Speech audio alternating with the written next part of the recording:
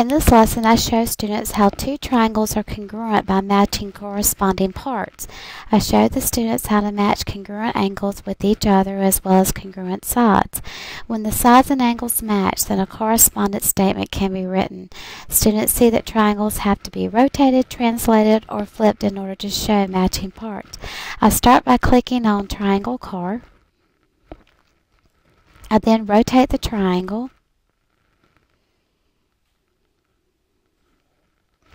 Flip it across the y-axis.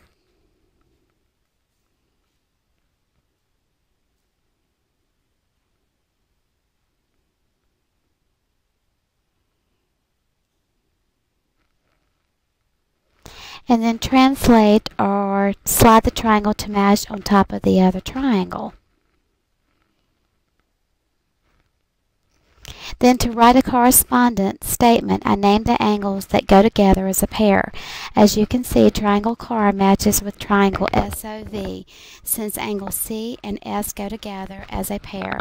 A and O go together as a pair, and then R and V go together as a pair.